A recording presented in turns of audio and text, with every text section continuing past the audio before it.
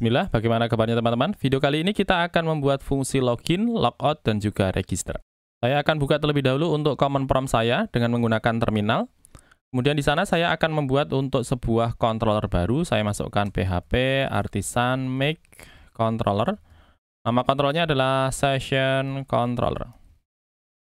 Kemudian saya enter.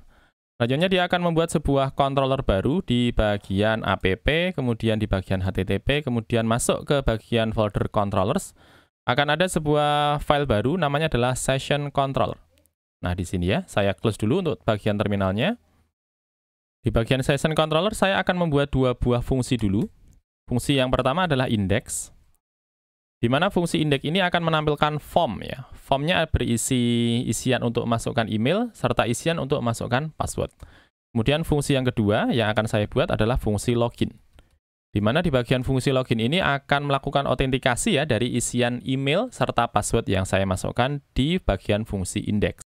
Saya masuk ke bagian fungsi index. Di bagian fungsi index saya akan membuat sebuah blade baru dan saya akan masukkan dia ke direktori sesi misalnya. Saya return dulu.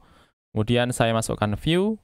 Di bagian dalam dari view ini, saya akan membuat sebuah folder dengan nama sesi. Kemudian saya akan buat untuk file blade-nya dengan nama index. Selanjutnya saya akan masuk dan akan membuat untuk file index saya ya di bagian resources, kemudian views, kemudian saya akan membuat sebuah folder baru. Saya akan berikan nama foldernya adalah sesi. Kemudian di dalamnya saya akan buat sebuah file baru bernama index.blade index.php. Ya, saya enter. So, sebentar pakai E ya. index.blade.php. Uh, saya enter. Di dalam file index.blade.php ini, saya akan masukkan untuk formnya, di mana formnya akan berisikan untuk masukkan email serta password. Tapi sebelumnya saya akan masukkan dari pola ketika kita membuat file blade ya di halaman web kita. Pertama saya akan masukkan extends dulu di mana saya akan extend dia dari pola layout yang saya punya, layout foldernya, kemudian untuk nama file blade-nya adalah aplikasi. Di dalamnya kita perlu untuk masukkan sectionnya, sectionnya dari konten ya, pakai K ya, konten. Oke, kemudian di dalamnya saya akan masukkan untuk form, saya masukkan untuk kelas dulu, div-nya. Saya masukkan dulu untuk div-nya, W50, biar dia punya width-nya adalah 50 center biar ke tengah, border biar dia punya garis, rounded biar tepiannya tidak siku, px-3 biar dia punya padding dengan ukuran 3 ya secara mendatar, kemudian py-3 biar dia punya ukuran padding 3 secara horizontal uh, secara vertikal. Kemudian kita masukkan mx auto ya biar dia menuju ke bagian tengah. Dalamnya saya masukkan h1 login, kemudian masukkan formnya, kita masukkan action, Actionnya adalah dari siswa. Siswa, kemudian fungsinya adalah login. Kemudian kita masukkan metodenya. Metodenya adalah post. Kita masukkan CSRF dulu. CSRF, biar dia menyiapkan untuk inputan hidden. Dan nanti isinya adalah token ya. Sehingga kita bisa memastikan bahwa proses posting data, dia diambil dari form yang kita miliki ya. Di dalam form saya akan masukkan kelas dulu, berupa div. Kita siapkan label dan juga input email, di sini juga email. Kemudian inputannya, kelasnya adalah form control, tipenya di sini adalah email, kemudian kita berikan name, name-nya adalah email. Kita copy ini, kita Ctrl C, kemudian kita paste di bagian bawahnya. Di bagian bawah kita siapkan untuk password. Tipenya adalah password. Name-nya adalah password.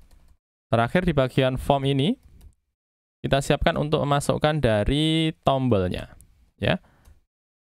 Kelasnya kita masukkan di sini adalah dgrid ya, biar dia memenuhi semua layar yang disediakan. Di dalamnya kita masukkan button. Buttonnya kita masukkan kelasnya adalah btn, kemudian btn primary. Kemudian kita tuliskan di sini login. Kemudian kita berikan name. Name-nya adalah submit. Kemudian tipenya kita masukkan juga submit. Form sudah siap, kita akan lakukan pemetaannya, routingnya di bagian root kita ya, root, kemudian masuk ke web.php. Di sana kita akan memasukkan untuk proses melakukan routing. Kita akan masukkan routingnya di sini, root, get.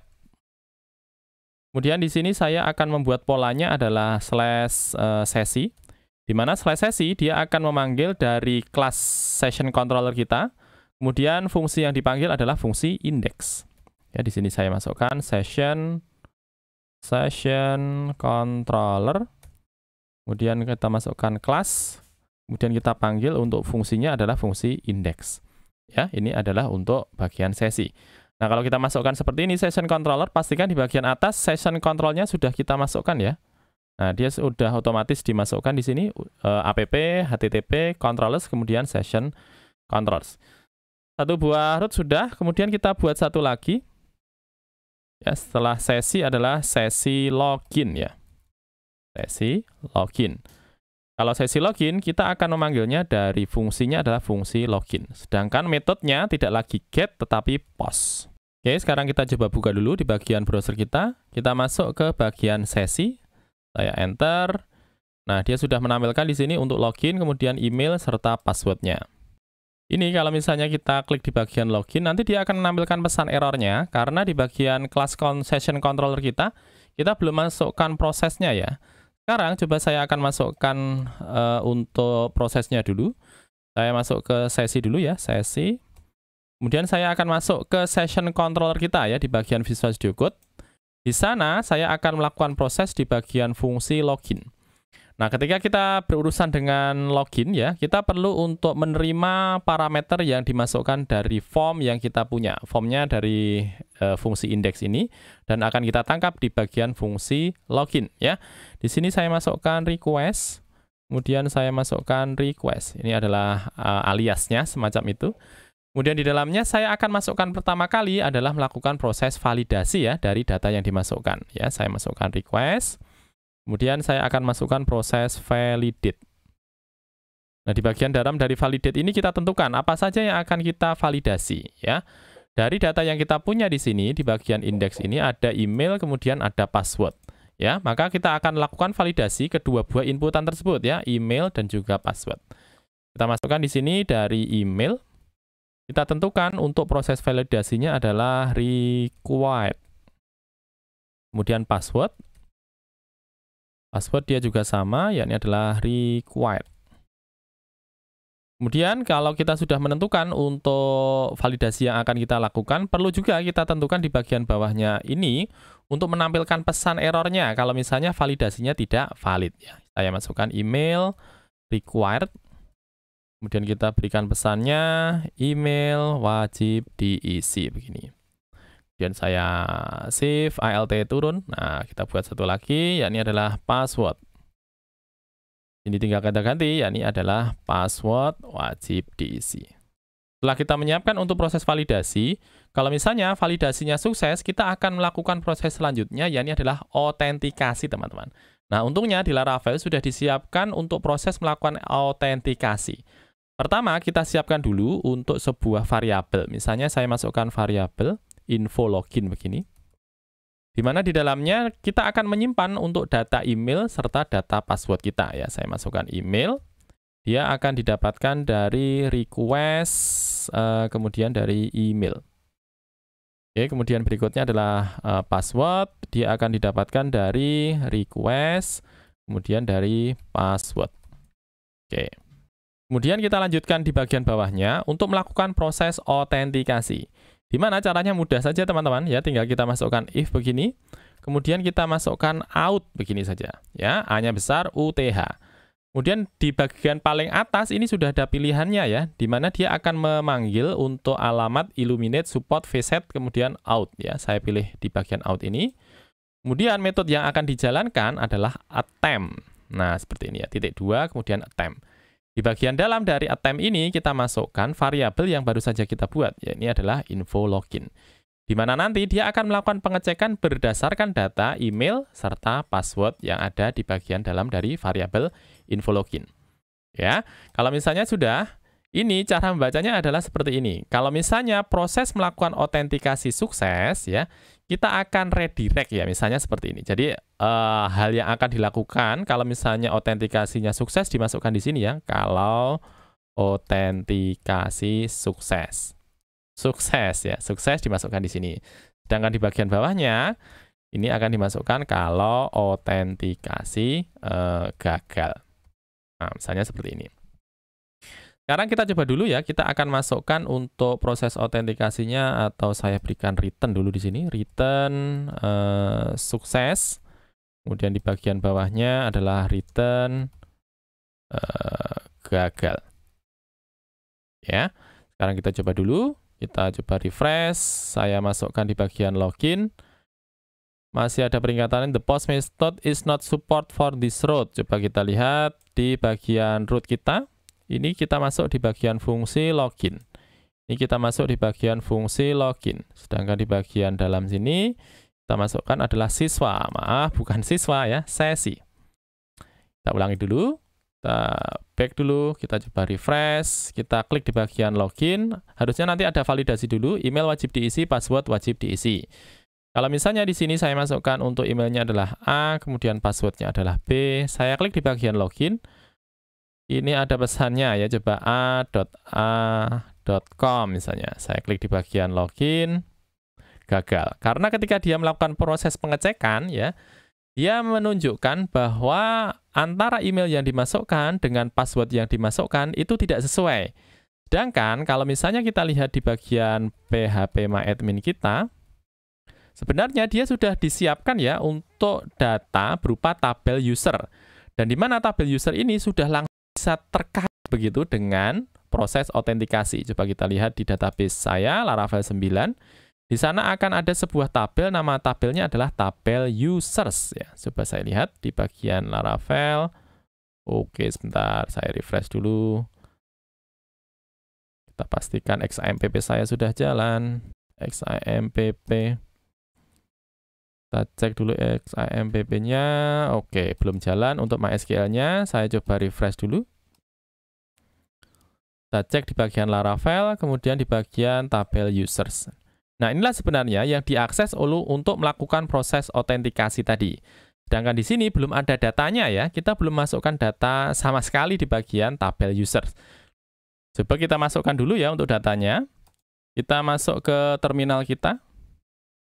Kemudian kita akan buat seeder di sana ya. Saya akan masukkan php artisan make uh, seeder. Kemudian misalnya untuk seedernya kita berikan nama users uh, tabel seeders begini ya. Saya enter. Nanti dia akan membuat sebuah seeder baru di bagian dalam dari database seeders namanya adalah users tabel seeders. Ya di sini. Kemudian di bagian dalam dari fungsi root fungsi run, sorry, fungsi run, saya akan masukkan untuk melakukan proses memasukkan data. Ya, pertama saya akan masukkan db dulu seperti ini. Dia akan memanggil untuk illuminate support vset, kemudian db ya. Saya masukkan db, pilih yang di bagian atas, kemudian titik dua titik dua, dilakukan proses memanggil tabel dulu. Tabelnya adalah users. Pastikan di bagian atas sudah terincludekan untuk vset yang db. Kalau sudah, kita masukkan proses memasukkan data, yang adalah insert. Nah, di bagian insert tinggal kita bentuk dari array-nya ya. Yang pertama adalah kolom name. Kita masukkan name-nya misalnya adalah uh, Rafif misalnya. Kemudian masukkan yang berikutnya adalah email. Emailnya misalnya saya masukkan email 1 at gmail.com. Kemudian setelahnya saya masukkan untuk passwordnya, kolom password ya. Jadi name, email, serta password ini adalah kolom-kolom yang ada di bagian tabel users ya. Nah, di bagian password, ini kan kita harus melakukan hashing ya. Sedangkan kalau misalnya langsung kita masukkan berupa angka saja ataupun kombinasi dari password kita, dia tidak akan aman ya. Sehingga kita melakukan proses hashing terlebih dahulu. Untuk melakukan proses hashing, Laravel sudah menyediakan, tinggal kita panggil hash seperti ini. Nah, kita enter. Nanti di bagian atas harusnya sudah ada tambahan baru, vset kemudian hash ya. Nah, hash di sini kita masukkan titik dua titik dua, kemudian make. Nah, make-nya kita masukkan di dalamnya parameternya. Misalnya saya akan masukkan untuk passwordnya adalah 123456 misalnya. 123456 ya. Kalau sudah kita masukkan seperti ini, tinggal kita jalankan untuk seeder kita dan dia akan langsung masuk ke tabel users yang kita miliki. Caranya saya masukkan php artisan db seed kemudian nama dari seeder kita. Ya, namanya adalah users tabel seeders ya. Kemudian kita enter. Sudah ada informasi seeding database, infonya tidak ada error. Kita coba browse. Nah, sudah masuk. Name-nya adalah Rafif, emailnya adalah email1 at gmail.com, passwordnya adalah hasing dari 123456. Oke, sekarang kita coba lagi. Kita coba back dulu ya. Kita coba refresh. Uh, kemudian saya masukkan di sini adalah uh, email ya. Saya masukkan emailnya adalah email at uh, gmail.com. Kemudian passwordnya uh, saya masukkan 123456, saya klik di bagian login, gagal. Nah, kalau seperti ini kita kan tidak tahu ya sebenarnya gagalnya apa ya. Maka di sini kita perlu mengembalikan data yang kita masukkan tadi ke bagian form kita ya. Kita ubah sebentar di bagian uh, session controller ini. Ya, saya akan masukkan di bagian uh, return ini uh, ini saya komen saja. Kemudian saya akan gantikan ke return redirect Redirectnya saya akan redirect dia ke sesi. Kemudian di sana saya akan berikan pesan errornya ya, with errors. Ya, with errors. Di bagian error saya berikan pesan misalnya username dan password yang dimasukkan tidak valid misalnya. Ya, ini saya hapus saja. Oke, kita coba ulangi dulu. Kita coba back, uh, saya refresh, saya masukkan email uh, at uh, gmail.com ya. Kemudian passwordnya 123456. Saya klik login, username dan password yang dimasukkan tidak valid. Emailnya tidak ada isinya ya. Nah ini kan jadi pertanyaan juga, kenapa tidak ada isinya? Jadi kita tidak tahu ya, yang kita masukkan baru saja email apa. Kita tambahkan di bagian atasnya untuk memasukkan dari flash kita ya. Saya masukkan session, uh, session. Sessionnya kita pilih dari support facet ini. Kemudian kita masukkan ya ini adalah flash. Flashnya adalah email. Kemudian di sini dari uh, request email. Request email. Pastikan di bagian atas sudah masuk untuk sessionnya. Oke, sudah masuk. Lanjut, ini kan kita masukkannya di bagian login ya, dan kita masukkan berupa flash. Kita juga perlu masukkan di bagian form kita ya, sehingga setelah kita set ini, perlu kita tangkap di bagian form kita, apa toh sebenarnya yang kita masukkan di bagian email kita ini ya. Ini kita masukkan value. Karena di bagian value, saya akan masukkan isian dari data kita. Session, uh, get uh, dari email. Saya Ctrl S, coba saya ulangi dulu, saya masukkan email at gmail.com. Saya masukkan passwordnya 123456, saya klik di bagian login. Masih ada pesan username dan password yang dimasukkan tidak valid. Ada tulisannya email at gmail.com. Harusnya adalah email satu ya, email satu at gmail.com. Satu at gmail.com. Kemudian passwordnya 123456 ya. Kemudian kalau misalnya saya klik di bagian login, nanti dia akan melakukan proses di mana prosesnya di sini sementara ini ya hanya memberikan return sukses saja ya. Nah ini kita ganti saja, tidak memberikan return sukses, tapi kita redirect dia. Saya return, dan uh, redirect, uh, kita redirect ke, uh, misalnya saya masukkan ke siswa saja. Kemudian saya akan berikan pesannya ya, saya berikan pesan with uh, success berhasil login. Oke, seperti ini. Sekarang coba saya ulangi. Sudah saya masukkan email 1 at gmail, kemudian passwordnya 123456. Saya klik di bagian login, kita coba lihat, nah sudah ada pesannya ya, berhasil login. Sehingga ketika proses autentikasinya dia sukses, dia akan masuk ke bagian halaman siswa dan memberikan pesan berhasil login. Nah, coba di bagian halaman siswa ini, kalau misalnya seorang pengguna sudah berhasil login, kita berikan menu ya di bagian atasnya. Coba saya buka untuk Bootstrap dulu. Saya masuk ke Get Bootstrap. Kemudian saya akan masuk ke bagian example. Saya akan pilih di bagian uh, headers ini. Saya gunakan yang paling atas ini. Saya Ctrl U. Kita copy saja untuk scriptnya uh, di bagian header ini ya. Saya akan blok saja. Saya Ctrl C. Kemudian di bagian Visual Studio Code saya akan membuat sebuah file blade baru. Ya, saya akan membuat sebuah file blade baru kita masukkan dia ke bagian resources view komponen ya. Di bagian komponen saya akan masukkan sebuah uh, menu ya. Filenya adalah menu.lead.php. Saya enter saja. Di bagian terminal saya close, kemudian saya paste dari yang kita dapatkan dari Bootstrap tadi, saya Ctrl S. Kemudian di sini SVG-nya saya hilangkan saja, tulisannya adalah simple header. Ini kemudian di sini saya masukkan home-nya, saya ganti misalnya siswa, di mana dia akan mengarah ke bagian siswa.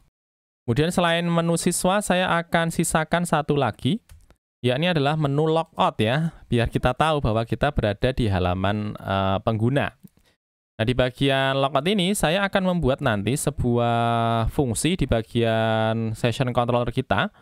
Namanya adalah sesi, kemudian kita buat fungsinya adalah logout ya, logout. Oke, seperti ini. Sekarang kita sesuaikan di bagian logout kita, ya, di bagian session controller. Kita masukkan sebuah fungsi baru, kita masukkan function, kemudian logout. Ya, di bagian function logout kita gunakan lagi untuk out kita. Kemudian yang dipanggil di sini adalah logout. Logout. Nah, seperti ini. Ya, dengan cara seperti ini dia akan langsung terlogout ya, dari sesinya akan hilang. Nah, setelah logout misalnya saya akan uh, redirect saja, return redirect ya kita akan redirect dia ke halaman sesi saja kemudian kita berikan pesan uh, sukses sukses dan kita berikan pesannya berhasil log out jangan lupa titik komanya eh sebentar titik koma kemudian sesuaikan juga di bagian web kita ya ini saya uh, shift alt turun ya kita buat satu lagi namanya adalah sesi logout Ya, kemudian di sini untuk fungsinya adalah fungsi logout. Ini saya pindahkan saja di bagian bawahnya. Nah, seperti ini ya, sehingga ada sesi, login, dan juga logout. Sekarang coba saya refresh dulu. Ini saya close, uh, di bagian header saya close. Saya masuk ke bagian siswa, saya refresh dulu. Oke, belum tampil di sini untuk komponen kita, karena di bagian layout belum kita ikutkan ya. Coba saya buka dulu di bagian resource, uh, masuk ke bagian layout, kemudian masuk ke bagian aplikasi. Saya masukkan di sini include-nya ya, include uh, dari komponen, komponen, kemudian menu. Oke, seperti ini. Kemudian coba saya refresh lagi. Harusnya ada tambahan satu, simple header, kemudian siswa serta logout. Nah ini kalau misalnya saya klik di bagian logout, Nanti dia akan menampilkan pesan ya, berhasil logout ya. Kemudian tampil untuk formnya ya. Formnya adalah e, dari halaman sesi, di mana kita diminta untuk masukkan email serta passwordnya. Tetapi ya, simple headernya ini masih ikut teman-teman ya. Padahal ini rencananya dia hanya tampil saja kalau misalnya kita sudah login ya. Sehingga perlu kita sesuaikan di bagian komponen menu ini. Caranya kita akan buat supaya dia hanya tampil ketika uh, posisinya adalah login ya, ketika dia sudah masuk untuk email serta passwordnya. Di sini kita sesuaikan dulu b if ya, if uh, oke okay, b if seperti ini. Kemudian kita akan panggil untuk out kita. Out kemudian cek. Ya, out kemudian cek. Tinggal di bagian bawah ini kita naikkan ke atas. Nah, seperti ini. Sehingga dia akan melakukan pengecekan. Kalau misalnya pengecekannya dia nilainya adalah true, maka dia akan menampilkan dari menunya. Sedangkan kalau misalnya pengecekannya dia tidak true ataupun misalnya false, maka dia tidak akan menampilkan ya untuk menunya. Coba di sini saya buka lagi untuk browsernya, saya coba refresh. Nah, seperti ini ya. Sehingga untuk menunya tidak tampil. Kalau misalnya saya masuk lagi untuk login, email 1 at gmail.com, passwordnya 123456. Saya klik di bagian login. Nah, simbol headernya tampil, sudah muncul kalau misalnya dia dalam posisi login. Untuk login serta logout sudah kita buat. Selanjutnya kita akan buat untuk proses melakukan register baru ya dari pengguna. Caranya saya akan masuk ke bagian session controller kita. Kemudian di sana saya akan buat dua buah fungsi. Fungsi yang pertama untuk menampilkan formnya. Kemudian fungsi yang kedua, kita akan mendaftarkan ataupun memasukkan data yang sudah kita masukkan dari form yang ada. Nah, kita buka dulu untuk session controller kita. Ya, kemudian di sana kita akan membuat dua buah fungsi ya. Terakhir, fungsi yang kita buat adalah logout. Selanjutnya, di sini kita akan buat dua buah fungsi. Fungsi yang pertama adalah function register. Jadi function register ini akan digunakan untuk e, menampilkan form register. Sedangkan fungsi yang kedua, function create ya.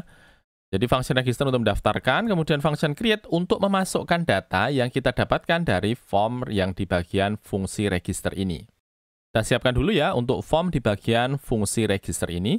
Ini kita return saja, return kemudian view, kita arahkan ke bagian sesi, kemudian kita akan buat satu buah file baru. Filenya misalnya kita akan berikan nama register begini saja. Kemudian di bagian resource kita lihat uh, kita sudah membuat untuk index di sini ya. Di mana di bagian folder sesi, kemudian di bagian file index, ini kita gunakan untuk memasukkan data login ya, form login. Ini kita copy saja teman-teman ya, kita copy, kemudian kita Ctrl V, kita ganti dari index blade menjadi register.blade ya. Saya rename dulu. register.blade.php. Nah, di bagian register ini, kita kan cuma punya email serta password.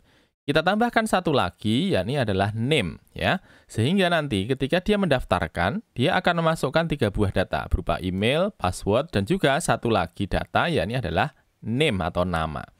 Ini saya copy saja di bagian email ini, saya Ctrl C, kemudian saya letakkan di bagian bawah dari CSRF ini.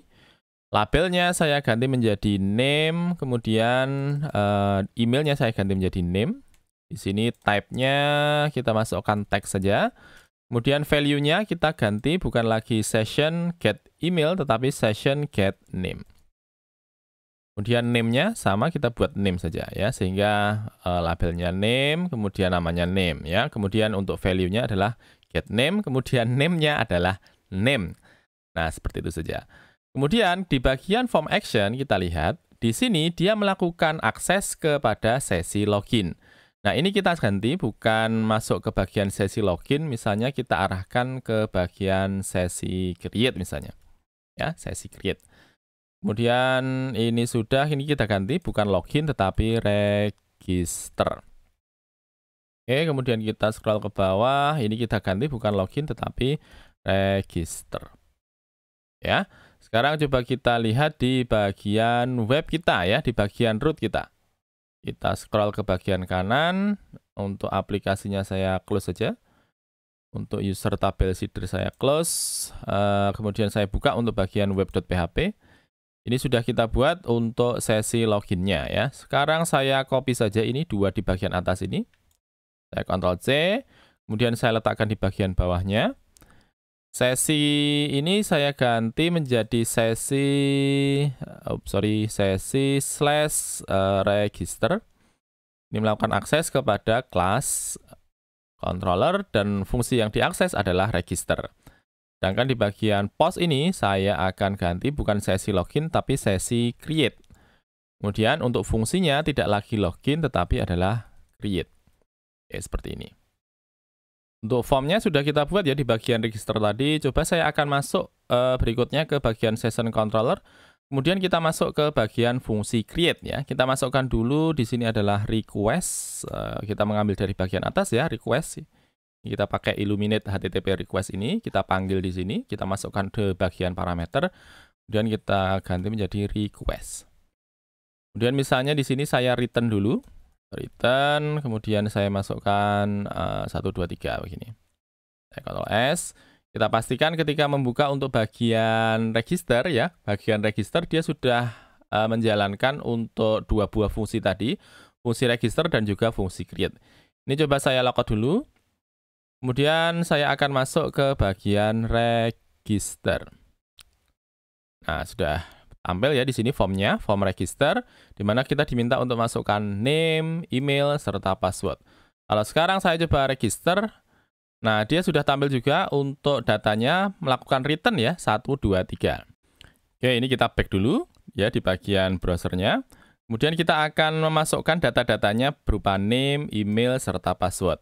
Nah, biasanya kalau misalnya kita akan melakukan uh, data ya atau memposting data, kita perlu melakukan validasi dulu Kemudian setelahnya kalau misalnya validasinya sudah sukses ya, maka kita akan memasukkan datanya ya dan juga kita akan melakukan redirect kepada datanya kalau misalnya autentikasinya sukses ya. Jadi sekali proses nanti kita akan melakukan tiga buah hal ya. Yang pertama adalah uh, melakukan validasi, kemudian yang kedua adalah memasukkan datanya, kemudian yang ketiga dia kita akan melakukan autentikasi dan langsung akan mendaftarkan dari uh, user yang baru ya, tiga buah hal.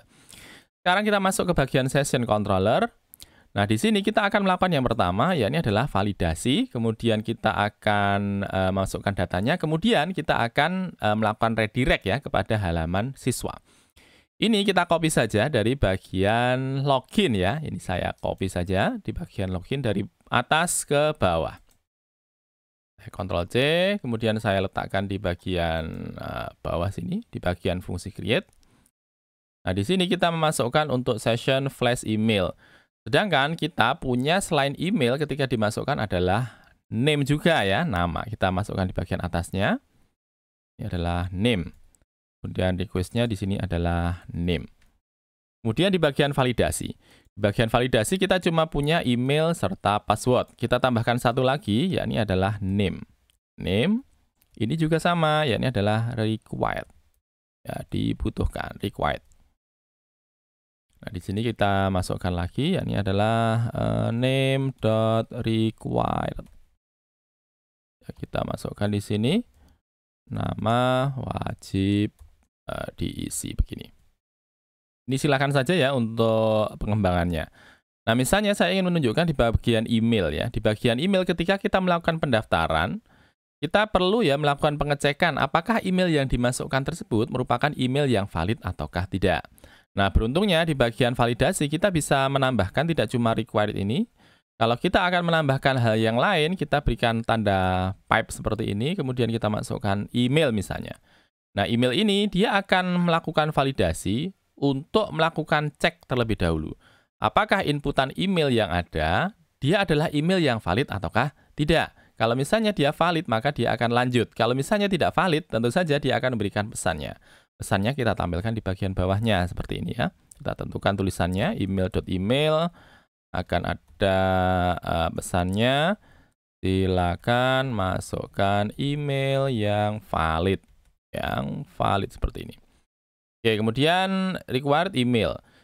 Kita perlu juga untuk memastikan bahwa email yang dimasukkan merupakan email yang berbeda dari yang sudah ada ya. Sehingga dia tidak bisa duplicate ya. Tidak boleh duplicate. Makanya kita perlu melakukan pengecekan.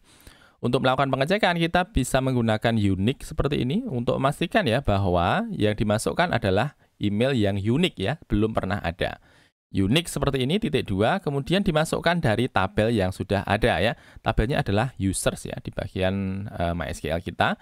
Nama yang akan kita cek untuk emailnya adalah uh, di bagian tabel users email, kemudian unique, uh, sorry, di bagian ini kita sudah masukkan email, kita tambahkan satu lagi di bagian bawahnya, yakni adalah email, kemudian unique.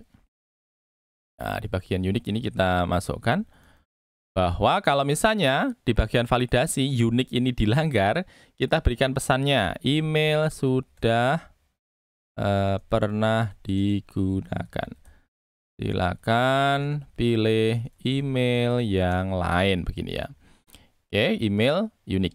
Kemudian di bagian password misalnya. Di bagian password eh, selain kita menentukan bahwa dia harus diisi, kita juga harus eh, memasukkan misalnya syarat minimum password yang diizinkan. Misalnya kita tentukan minimumnya adalah 8 eh, misalnya 6 ya. Min titik 2 6 ya.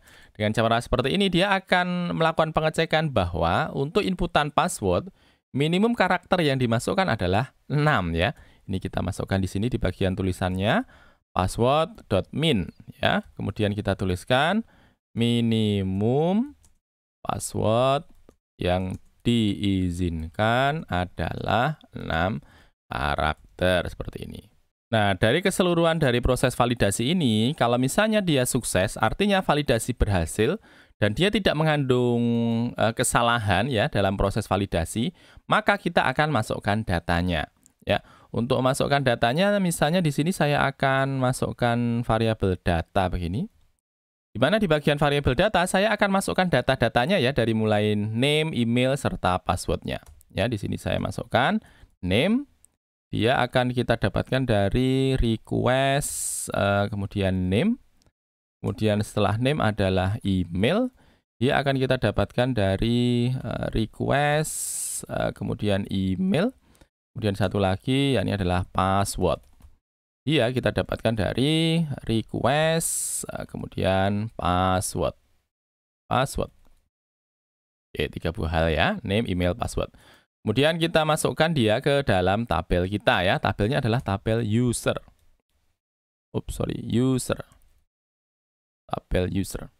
Nah, tabel user titik dua titik dua create. Ya, kemudian yang dimasukkan adalah data. Nah, teman-teman, ketika kita memanggil di bagian bawah ini ya tulisan user, pastikan di bagian atas juga sudah masuk ya untuk modelnya ya. Ketika masukkan app model user ya. Pastikan sudah masuk juga ya di bagian atasnya. Kita scroll ke bagian bawah. Uh, Oke, okay, user create info login. Oke, okay, sekarang kita masukkan untuk datanya. Jadi alurnya ketika dia sudah masukkan data, maka kita akan langsung lakukan autentikasi di sini ya. Ketika melakukan autentikasi, dia akan masukkan data dari login yang kita punya dari email serta passwordnya. Ya. Sedangkan kalau kita lihat di sini passwordnya kan kita cuma masukkan request password seperti ini ya. Ini tidak akan berhasil nanti teman-teman ya. Karena ketika dia melakukan pengecekan maka dia akan dilakukan hashing terlebih dahulu ya. Maka di sini tidak seperti ini ya. Kita masukkan hash uh, kemudian make ya kita lakukan hashing terlebih dahulu untuk data yang dimasukkan. Nah, seperti ini. Oke, kalau misalnya kita sudah uh, masukkan data seperti ini, dia akan melakukan proses autentikasi. Nah, selain kita memberikan tulisan sukses seperti ini ketika dia sudah melakukan redirect ya, kita bisa menambahkan juga informasi di bagian uh, belakang ini ya, berhasil, cuma ada tulisan berhasil login ya. Misalnya mau kita masukkan untuk namanya bisa juga out. Kemudian user ya, kemudian kita berikan tanda panah name. Ya, ini adalah nama dari kolomnya ya. Out uh, user kemudian name. Oke, seperti ini. Kemudian coba ya, sekarang kita akan masuk untuk datanya berhasil login, username password tidak valid. Oke, ya, harusnya sudah oke. Sekarang saya masukkan dulu yang kedua di sini, saya register, namanya adalah Muhammad. Kemudian emailnya, sebelumnya kita masukkan email 1 at gmail.com ya. Yang di bagian Muhammad ini saya akan masukkan email 2 at gmail.com. Kemudian passwordnya kalau yang tadi adalah 123456, kalau yang kedua ini adalah 654321 ya. Kemudian saya klik di bagian register. Kita coba lihat ada tulisannya app controller has not found ya, ada yang kurang di sini. Coba kita lihat. Has coba kita scroll ke bagian atas. Oke, belum masuk untuk hashnya. Ya. Kita ulangi dulu kita pilih ya harusnya ya, tidak cuma memasukkan tapi kita pilih dari pilihan yang keluar. Coba teman-teman lihat ya. Saya masukkan hash seperti ini. Nah, nanti kan ada pilihan ya, ada hash, hash key, hash one, hasher dan sebagainya. Pilih yang ada ya, sehingga dia akan mengarah di sini ya, illuminate support vset kemudian hash ini ya, yang di bagian hash. Ini saya pilih. Ya, jadi berupa pilihan ya, tidak cuma kita masukkan saja. Hash kemudian make. Nah, di bagian make kita masukkan dari request, kemudian password. Password. Oke, seharusnya sudah. Saya ulangi dulu. Saya coba refresh, kemudian saya masukkan Muhammad email 2 at gmail.com. Saya masukkan untuk passwordnya 654321. Saya klik di bagian register. Nanti ada tulisan simple header ya, kemudian di bagian bawahnya sudah ada pesannya Muhammad berhasil login, kemudian di bawahnya adalah data isian dari data siswa. Itu dia pembahasan kita tentang login, logout, dan juga register dengan menggunakan Laravel. Kita akan berjumpa lagi di video berikutnya. Terima kasih.